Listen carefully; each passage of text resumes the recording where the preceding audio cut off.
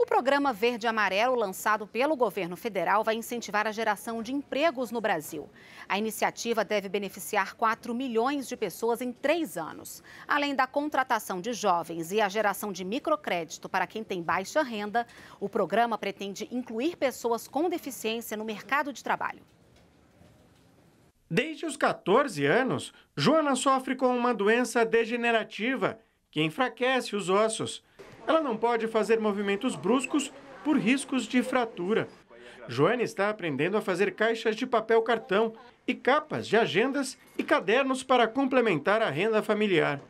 O sonho dela era conquistar um emprego, mas nunca conseguiu entrar no mercado formal de trabalho. Entrega currículo, né? Eles falam que depois vão retornar mas na verdade não há esse retorno.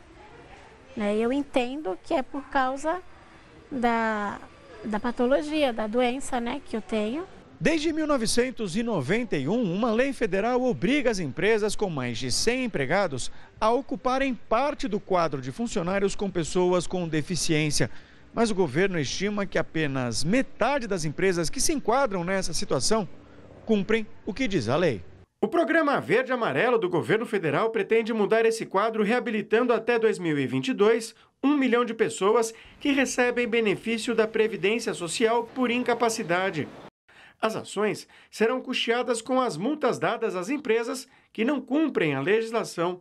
Uma empresa poderá se associar a outra para completar a cota. Quem recebe o benefício de prestação continuada, o BPC, continuará com 50% do auxílio se ingressar no mercado de trabalho.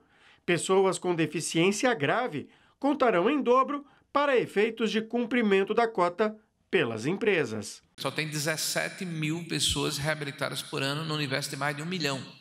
Tá?